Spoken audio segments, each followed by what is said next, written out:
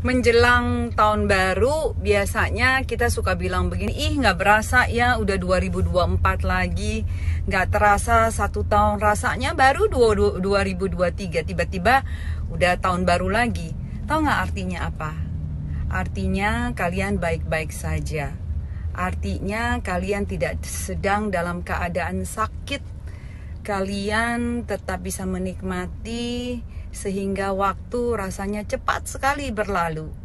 Kebayang nggak orang-orang yang ada di penjara? Kebayang nggak orang-orang yang mengalami kematian keluarga yang ditinggalkan? Kebayang nggak orang-orang yang mengalami penyakit yang kronis?